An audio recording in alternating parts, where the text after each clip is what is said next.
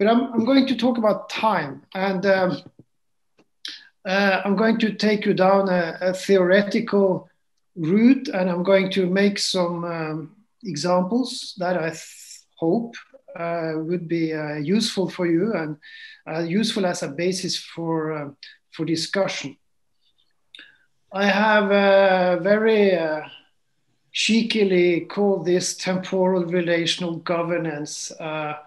I thought it would be nice to add temporal in, in, in, in front of, of relational and, and then actually see what, what comes out of it.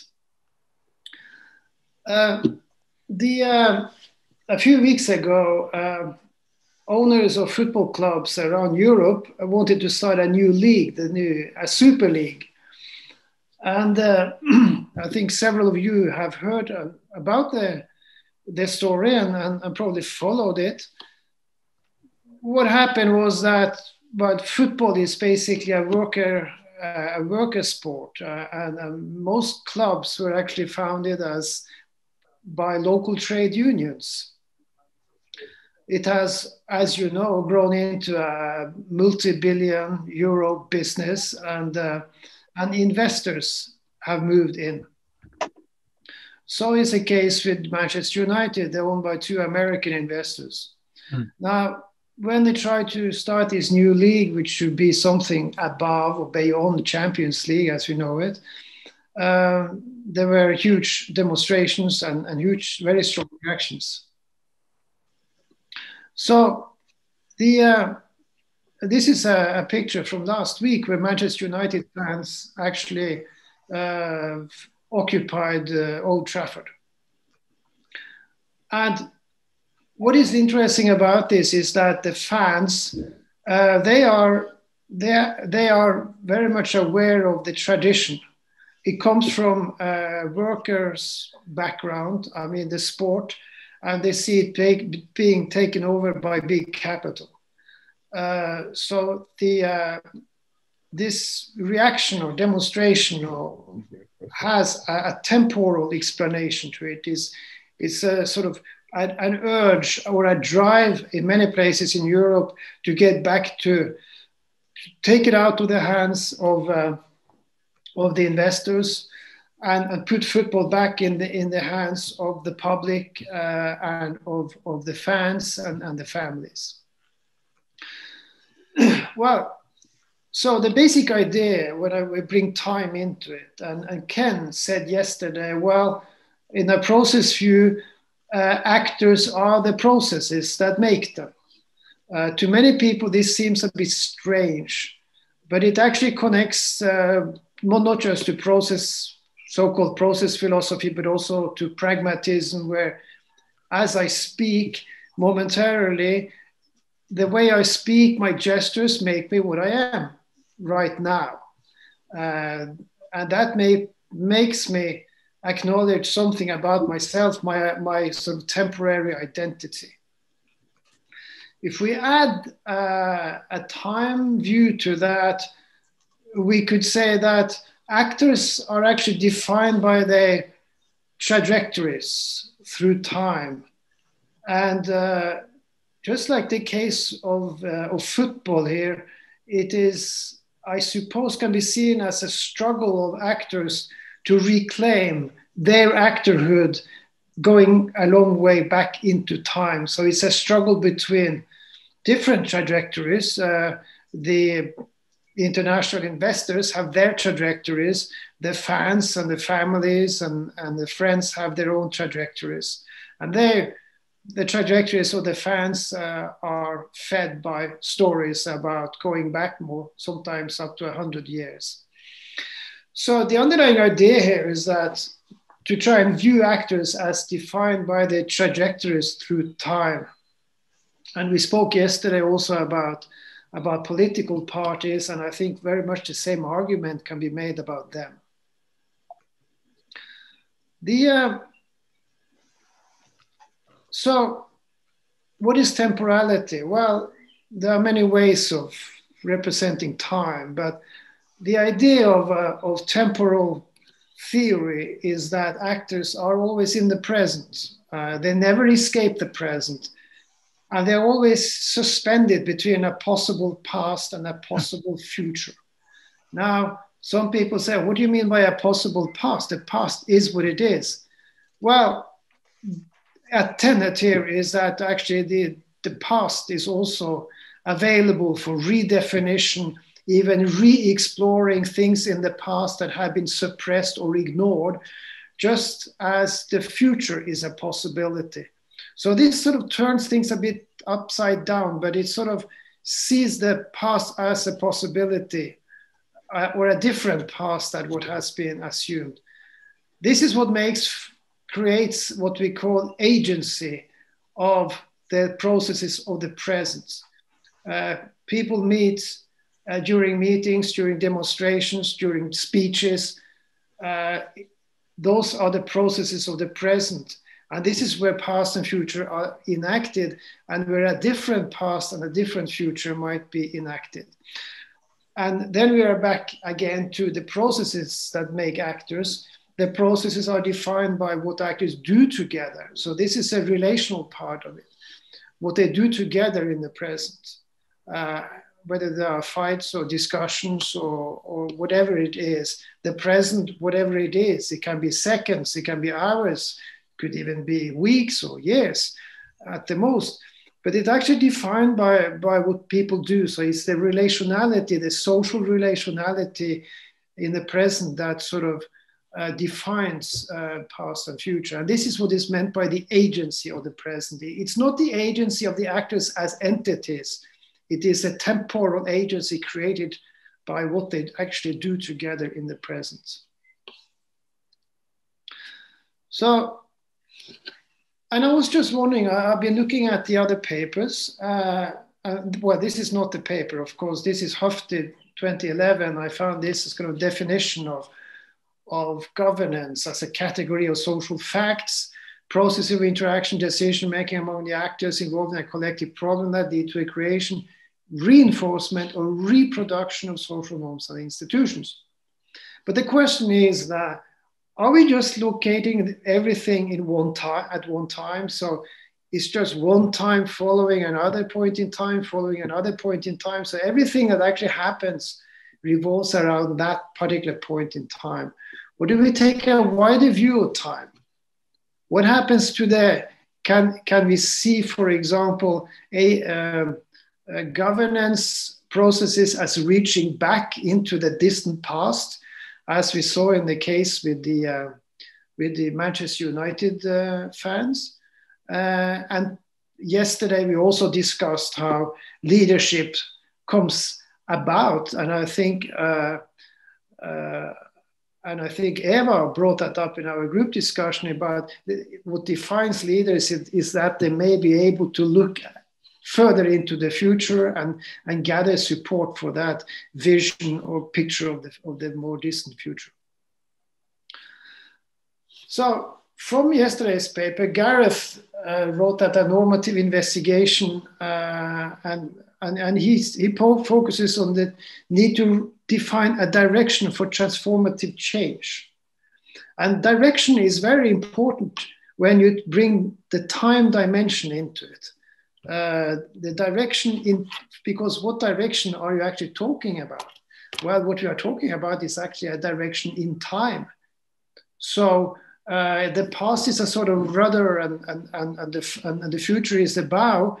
Uh, it's a direction in time where we come from and where we are going.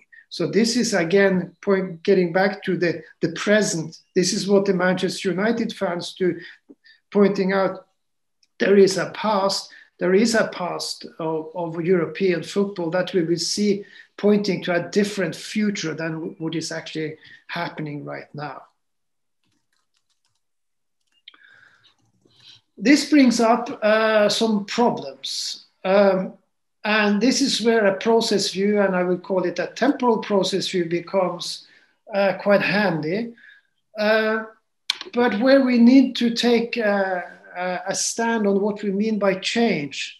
And one of my favorites, uh, which I've talked about at various conferences and, and, written about and continue to write about, is the notion of continuity. Uh, I think any anthropologist or student of social life will say that continuity is it. I mean, without continuity, there is nothing really. But continuity can be different things. Uh, but I also want to say that without continuity, and, and, and I teach managers, for example, and managerial students that go into management consulting, etc. And we, we emphasize the idea that without continuity, there is no meaningful change. But on the other hand, continuity also depends on change. So there is a, there's a sort of, call it uh, perhaps dialectical relationship between the two. But in a process view, we don't assume continuity. Uh, we assume change goes on, goes on all the time, but it's continuity, the, actually the exception to be explained uh, most conventional theory would say its change is, needs to be ex, uh, explained. We turn it upside down and say, no, you actually need to explain how some forms of continuity emerge and, and, and prevail. So this is, um, you could say, uh, just to, to, uh, to illustrate schematically, uh, there are two forms of continuity here, and this is the traditional or transitional continuity, which, the, which is the classic. Uh, this is a conventional view, and it requires no defense. It's, it's, it's uncontroversial.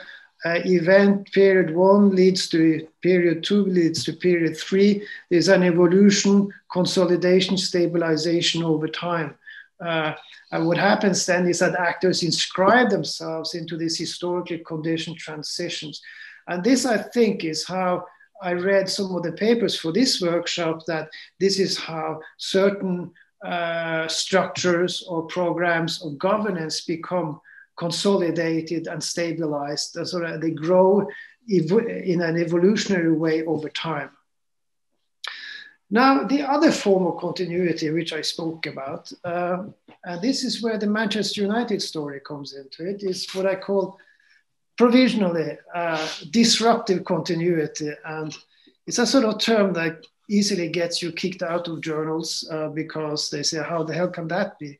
Well, it's disruptive in the sense that if you go back to our event period one, two, and at some point in time, some people, some actors may reach back to an event period X in the distant past that they say, well, what if we pay attention to that? What if we evoke that? What if we bring that into the present? How will then our future look? So, what happens then is that what they do here, most people would say it's not continuity.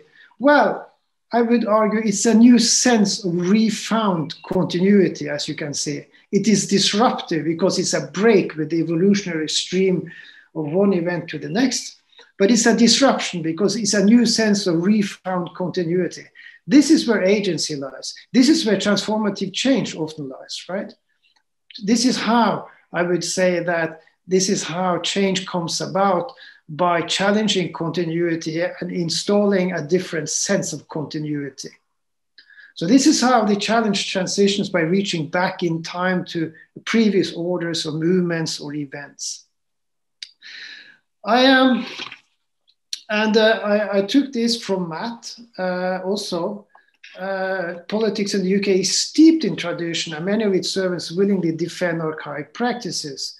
So there are numerous psychological reasons for them to be doing so. So it can provide a sense of comfort while to others bring to elite institution. So this is this type of uh, transitional continuity that, that becomes that's hard to get out of. We've done quite a bit of research on organizations and have actually sometimes shown how a different type of sense of continuity, reaching back and establishing a new refound continuity can actually bring about some a different type of change. I have an example. Uh, I've written here about this in a couple of places, uh, which it caught my interest. I read a New York Times article a few years ago about the story of, of Lincoln's uh, Abraham Lincoln's uh, Gettysburg speech it's a fun story. Uh, it was introduced by the governor, I think, who took who spoke for about an hour, and then Lincoln gave his speech, and the, the entire speech is actually it took three about three minutes, probably less, and it became one of the most important and maybe the most uh, important political spe- speech in, in, American political history. So this brings again, I want to bring back this notion of the agency of the moment and how that ties together creates a different sense of continuity over time uh, than what may be assumed. Uh, so it's actually about the becoming of the Gettysburg speech. That sounds strange. It, it was. No, it's still not finished, actually. From a temporal view, the Gettysburg Address is not yet complete, and it probably will be. It is perpetually in the becoming. It is, as we say, and, you, one would say from a process view, it is an ongoing accomplishment. It is never really uh, finally ac accomplished. Um, so what was what is the story here? Well, the story is actually the battle between the Federates and Confederates uh, during the American Civil War took place in 1863. Uh, the, the Confederates suffered a defeat. Lincoln's speech uh, in 1863, I think, to um, uh, be, uh, uh, to because they were making a, a cemetery uh, so he gave a speech. This is extremely brief speech, uh, was on freedom and equality. Uh, for many years after that, people came, uh, men mostly, I suppose, came to commemorate the battle, dressing up like soldiers. Uh, and, and stage these sort of fun battles but what they celebrated was the victory of the North and the defeat of the South. However, uh, Lincoln's speech was on freedom and equality. Uh, and according to the story, uh, apparently some of the soldiers who fought there on the northern side understood actually what they were fighting for. Uh, and a parallel stream of events took place throughout the 19th century, where the speech became interpreted as at uh, elementary schools and used by feminist movements, and where it was more or less understood uh, what, it, what actually Lincoln meant. The speech itself was forgotten and it was lost, uh, and it actually was retrieved in different versions and it was brought into American uh, cultural life uh, and education. But it was sort of lying dormant for many, many years, and it was misinterpreted or ignored by, uh, by certain streams of events, but other streams of events paid attention to what actually what, is, what, what was the meaning of it. So the hundred years after, we have this famous uh, "I Have a Dream" speech by by Martin Luther King, where he refers to to get the Gettysburg speech by Lincoln. Tor, yeah, we need to reach the end fairly soon. I just we're yeah, yeah. I have two minutes okay. Yeah, okay, no problem. I'm not going to. Uh, uh, I, I will end soon, but there is a. It's a. It's a. It's an. It's an. Um, it's an example of how the, the the original speech was actually became an echo in the moment of Martin Luther King's "I Have a Dream." Which was watched uh, by many people, and we know what happened to that. So it was a moment of redefining the battle for a different future 100 years later. So that was, a, a you, you, could say, uh, a, a, an example of what I mean by sort of bringing back, creating a new sense of continuity. And this is what is enabled by a temporal view of things. So establishing a trajectory, it's about viewing history as a resource of forgotten or ignored events rather than just assuming that history simply lies there and cannot be changed. It's also about reconstructing a different, a novel sense of continuity. And finally, to leverage uh, a selected past to actually see a different future. We're not talking about co- copying it. We're not, we're not talking about nostalgia. We're talking about translation here.